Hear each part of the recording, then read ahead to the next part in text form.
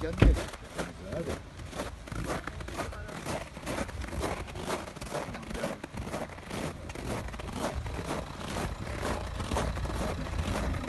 Adem bak buraya.